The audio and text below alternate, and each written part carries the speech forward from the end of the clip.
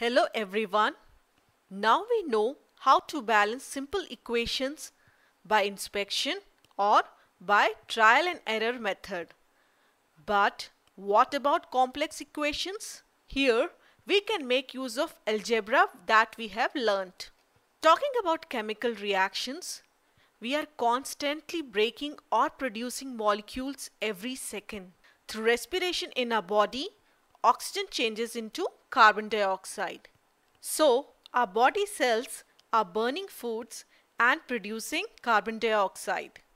Thus, chemical reactions are going on inside our body, around us, all the time. So, these chemical reactions keep us alive. Like here, this is reaction which happens during respiration inside the cells. It's the source of energy that keeps us alive. Glucose plus oxygen gives carbon dioxide plus water with the release of energy. This reaction has more complex compounds like this big organic compound glucose C6H12O6 which is the formula for glucose. But if you see this equation is not balanced. Number of carbon atoms on the left side is 6. On right it is 1. Number of hydrogen atoms on the left side is 12. On the right side it is 2.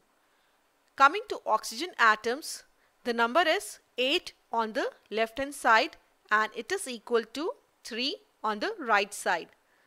So this is not balanced equation.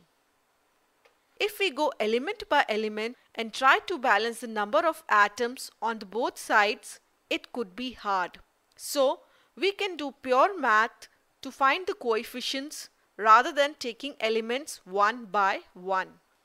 So to balance a chemical reaction algebraically, we start by putting unknown coefficients in front of each molecular entity in the equation. Say A number of molecules of glucose react with B number of molecules of oxygen and C number of molecules of carbon dioxide and D molecules of water are produced.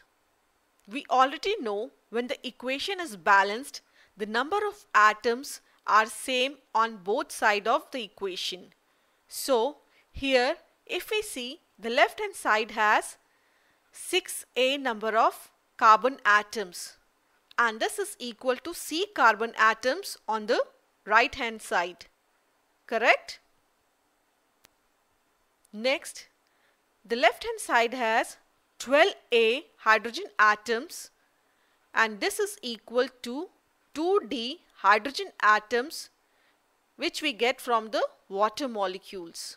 So simplifying that is dividing both the sides by 2 we get 6A is equal to D. Lastly, coming to oxygen molecules.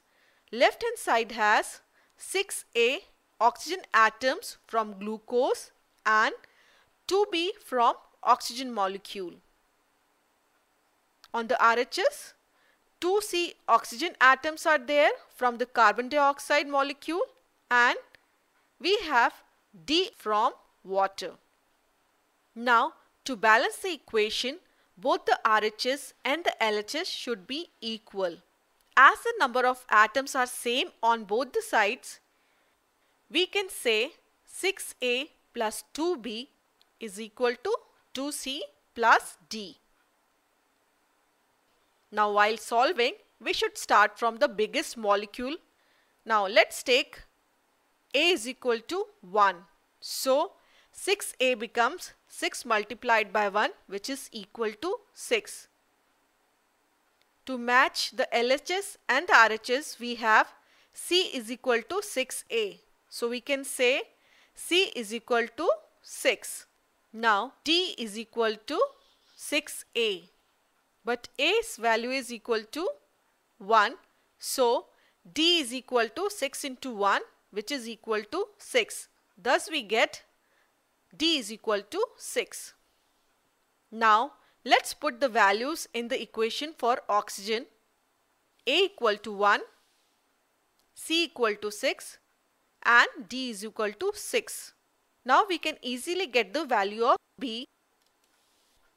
So we balance the equation using the algebraic method. So we can assign weights to the molecules and can find the relation between them.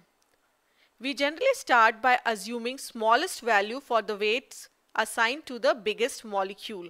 Hence we started here with glucose molecule. While calculating if the value of any coefficient comes out to be a fraction then we should look for another higher value because a molecule cannot be in fraction. We need to take a new value and start over again until we get some whole number for all the weights that is for all the coefficients. So don't worry generally you would find all the values with 2-3 trials. So that was all about balancing the equation using the algebraic method. That's all for now. Bye-bye.